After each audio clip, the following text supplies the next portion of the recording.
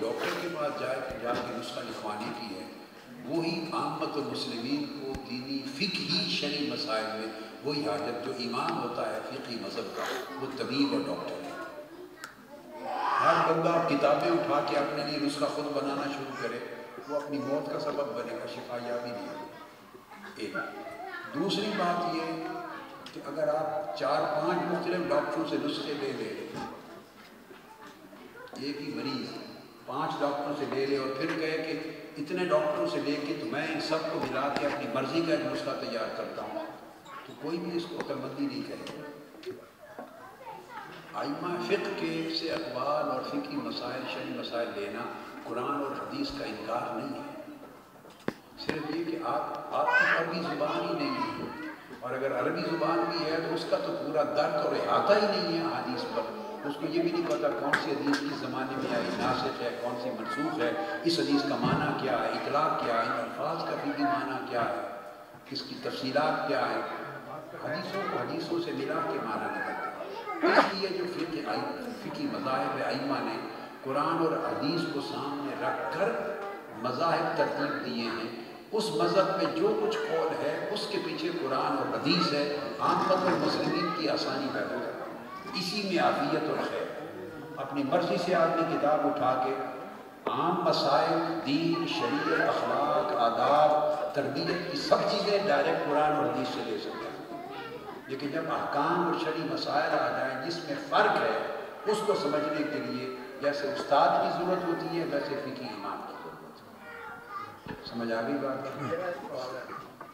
تیار ہو گیا ابھی جی۔ دو منٹ اور جب جی، پوچھیں ہم سب نے ٹی وی پہ دیکھا کہ مادر ٹاؤن میں چودہ مسلم لوگوں کو شہید کیا گیا اور جسٹس باقر نقوی کے جو رپورٹ تھی اس کے مطابق ریپ جو بات ہوئی اور رانا اسلام آباد کو ووٹ کا کام کرایا تو اب چونکہ گورنمنٹ چینج ہو گئی ہے، تو میرا آپ سے یہ سوال ہے کہ مناظر کرام اس کو کیسے آگے کرے گی؟ کیسے القرآن نے کوئی نیا لائمہ اڈاپٹ نہیں کرنا، ہمارے تمام کیسز عدالتوں میں ہیں۔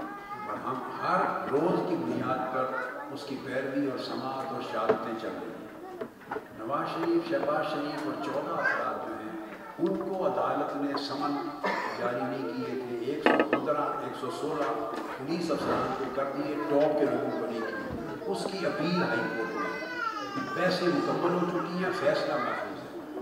ہم خود انتظار میں ہیں کہ وہ فیصلہ نہیں، حکومت بھی آ گئی ہے۔ اب وہ فیصلہ کیا ہوتا ہے؟ عدالت ہائی کورٹ نے کرنا ہے۔ اور اس پر عمل درآمد کیسے ہوتا ہے؟ تو ہم اس پوری قانونی جنگ میں بالکل پیچھے چل رہے ہیں۔ اسٹیپ بائی اسٹیپ دیکھ رہے ہیں امید کرتے ہیں کہ خیر ان شاء انتظام دو منٹ لگیے گا اچھا ادھر کیا خالی جگہ کی پڑھنے نہیں تھی انتظام کس چیز کا مسلح کی ضرورت نہیں ہے کہ یہ سب پاک زمین ہے یہ لکڑی کا فرش ہے سارا پاک بس کھڑے ہو جانا ہے ادھر آ جائیں آپ آخری سوال کون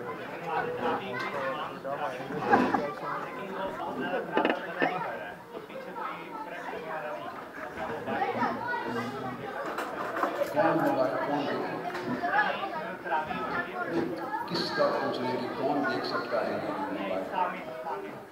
سامنے کو ضرورت نہیں ہے اس نے تو موبائل اگر دیکھے گا بھی تو لکما ہی دے گا۔ اگر موبائل سامنے ہے لکما دینے کے لیے دیکھنا چاہے تو دے دے، چونکہ کوئی اور سامنے لکمہ نہیں دے رہا تو ہر نہیں ہے مگر یہ ہے کہ اس حد تک لکما دینے کے لیے۔ ہر کوئی سننے کے لیے نہیں پہنچ سکتا۔ السلام علیکم۔